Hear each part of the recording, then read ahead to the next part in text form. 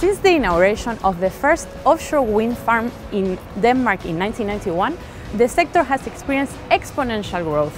We have several large developments being launched each year. In this episode of Building for Impact, we'll find out how offshore wind farm can transform the global energy sector.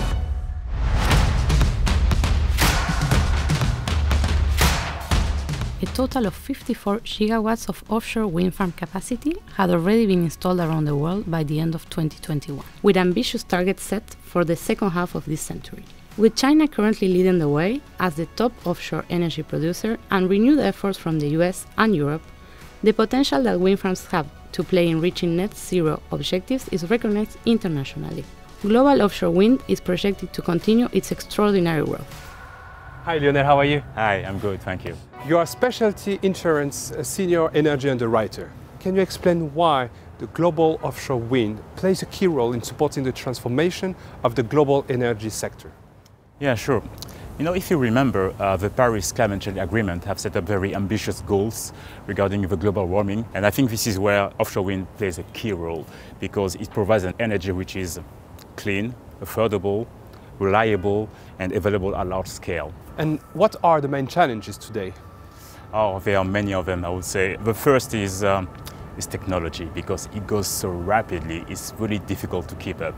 If you go back five, seven years ago, having a six megawatt turbine was something huge, and now it's something average. Most of them are at least 12 megawatts, and now we also see even bigger 14 megawatts turbine. So it's not only the turbine, uh, we can also talk about the power output of the uh, um, cables and also the type of foundations. Now we see more and more floating foundations because it's getting deeper and deeper. So it's not it's not very easy to keep up. And the other thing I would like to point out is regarding the claims as insurers, we are really focused on the cables because it represents about 80% of what we pay, whereas it's only 15% of the capex. How can SCOR and the reinsurance industry in general uh, help their clients and partners in their wind farm offshore projects? I think one of the key things is uh, to understand the activity. So, which means we need internally to have the, uh, the expert, the expertise, and uh, to be able to engage with them and to follow them in the pathway to decarbonization. And at the end, what they want is to have suitable insurance uh, solution. And we always have in mind this uh, reduction of carbon emissions because it's really part of our, of our raison d'etre. And uh, that's why SCOR is a founding member of the Net Zero Insurance Alliance. And the last thing I would say, SCOR is a long-term partner and we're here for the long run. Thank you very much, Lionel. Thank you, my pleasure. Insurance plays a key role in supporting investment in renewable energies. I'm meeting James McCallum, Head of Insurance for offshore wind farm market leader SSE Renewables, to find out how insurance helped them build the energy world of the future. Welcome. We are here with James McCallum, Head of Insurance for SSE Renewables. Hello, James. Hi there. So, my first question is what can you tell us about SSE Renewables? What are your goals? What's your vision? So SSE Renewables are uh, quite a well-established uh, player in the renewable market and I think we're leading the way in developing, constructing and operating renewables both in the UK and uh, you know throughout the world. A big part of that is offshore wind. Uh, we're currently building uh, the most offshore wind of anyone in the world. You mentioned offshore wind farm projects. How does insurance help you with this? What's the role insurers play? Uh, insurance plays a key role actually in any offshore wind project. You know, they're huge infrastructure spends, uh, you know, the technology is always advancing.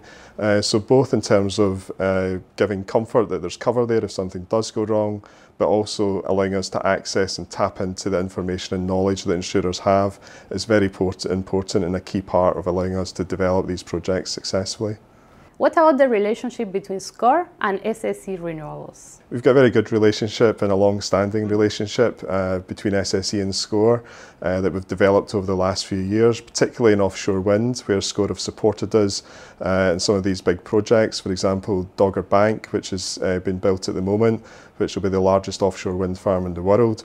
Um, you know, SCOR are one of the, the insurers there. So you know, we know that the SCOR team has a lot of good experience, uh, a lot of knowledge, and we can use that knowledge to, to help us uh, at the very early stages of these projects to, to make sure that we're de-risking them as far as possible. how can insurers help you achieve your sustainability goals, for example, net zero? Yeah, I think insurers play a, a, big part in that, especially as we look to go into the, the kind of international arena. So, for example, we now have an operation in Japan.